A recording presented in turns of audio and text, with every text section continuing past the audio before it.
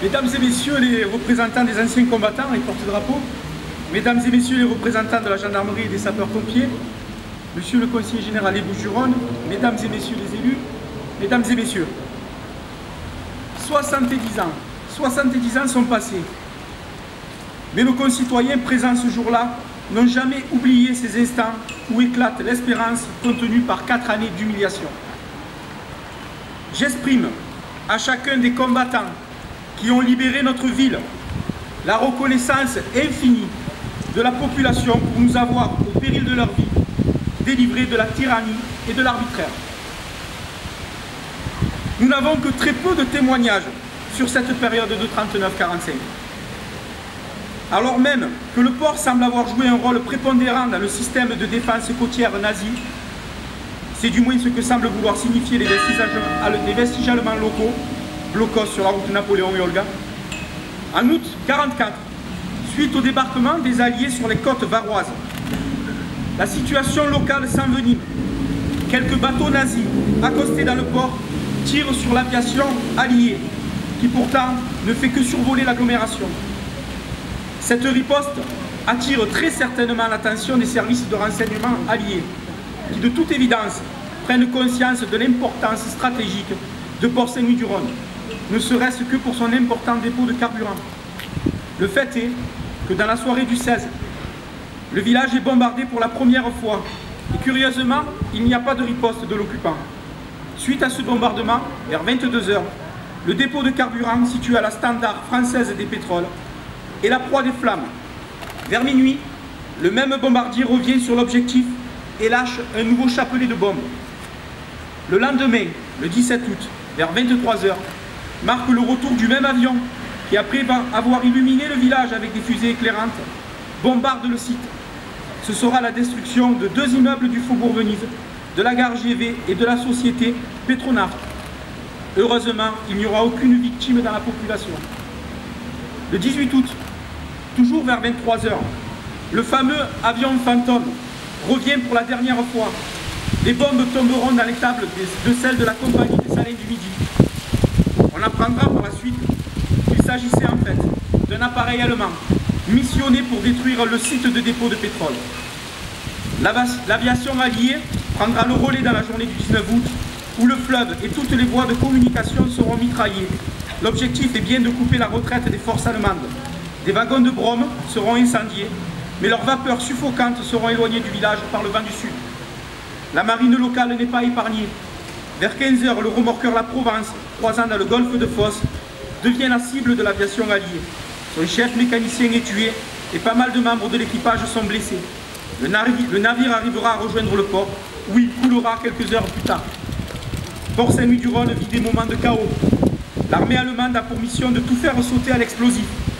De nombreux points stratégiques en feront les frais, projetant contre les immeubles d'habitation débris de béton et autres traverses de chemins de fer. Le gros de la population s'est alors réfugié au Bois François, où elle fut accueillie par son propriétaire, M. Daher, et son fermier, M. Suzini. Dans la nuit, les forces d'occupation vont terminer leur besogne en faisant sauter à la grenade le standard téléphonique du bureau de poste, et de la caserne de gendarmerie maritime, qui semble avoir logé leurs troupes et nombre de munitions. Ces actes de destruction alliés à un fort vent de la mer provoqueront l'incendie du centre-ville, dont les ateliers de la compagnie Charles Le Borne. La ville est alors privée d'eau potable et de courant électrique. Une organisation administrative se met très rapidement en place. C'est le comité de libération nationale locale. La résistance locale, forte de quelques 25 hommes groupés autour du lieutenant Joseph Bourdiol, semble bien organisée.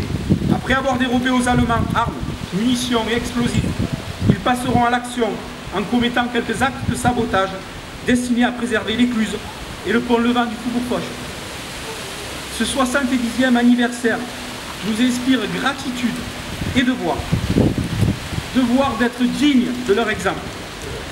Puissions-nous inscrire dans nos vies cette même exigence d'une liberté reconquise par le courage et l'audace. Des années particulièrement sombres, au cours desquelles se sont distingués quelques hommes et quelques femmes. Ils n'étaient pas si nombreux à avoir la force en eux et se soulever contre le régime nazi. Ils n'avaient parfois que très peu de moyens au regard de l'ennemi qu'ils combattaient. mais leur volonté de défendre la France, de restaurer la démocratie et de faire triompher les valeurs humanistes était indéfectible. Par cette volonté, par leur courage, ils ont entretenu l'espoir d'un avenir meilleur, d'un monde fraternel et pacifié, et ils ont entraîné le pays avec eux. Avec le soutien des armées alliées, ils ont libéré Paris, notre commune et la France entière. Pourrions-nous aujourd'hui librement circuler, travailler, nous réunir, nous exprimer, même si nos aînés ne s'étaient pas battus pour la liberté?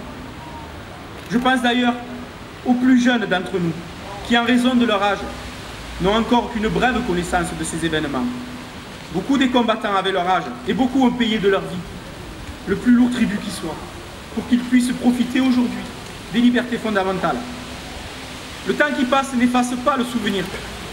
La libération de notre commune demeurera inscrite dans l'histoire comme l'expression et le symbole de l'aversion profonde de quelques-uns pour l'arbitraire et l'injustice, comme un acte de foi laïque porté jusqu'au sacrifice suprême dans les valeurs qui fondent notre République, la liberté, l'égalité et la fraternité.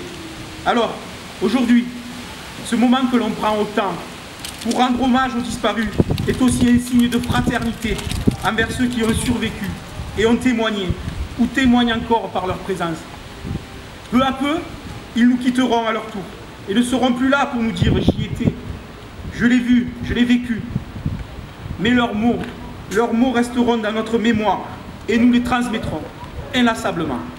Vive Port Saint-Louis du Rhône, vive la France